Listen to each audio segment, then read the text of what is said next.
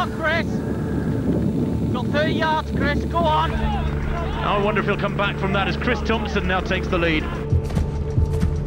Thompson looks like he's working hard.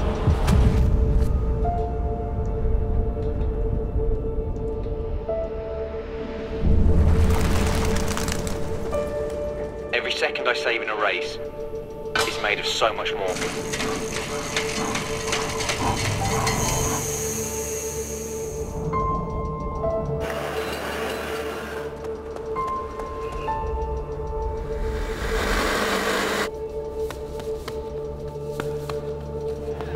It's more than just a second.